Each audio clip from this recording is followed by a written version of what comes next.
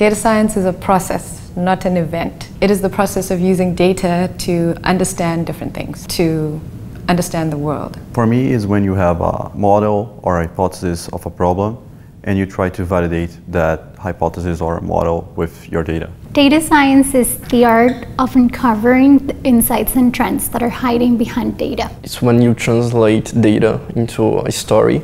So you use storytelling to generate insights. Um, and with these insights, you can make uh, strategic uh, choices for a company or an institution. Data science is a field about processes and systems uh, to extract data from uh, uh, various forms, uh, whether it is an unstructured or structured form.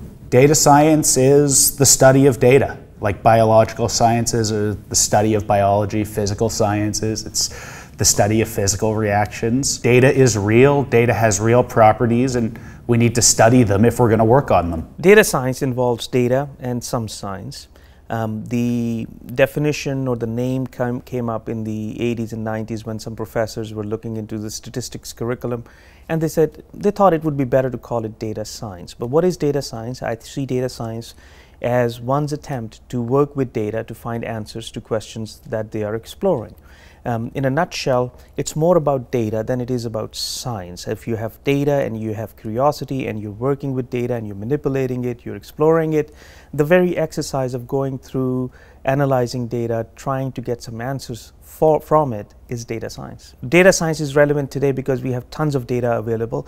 We used to worry about lack of data, now we have a data deluge.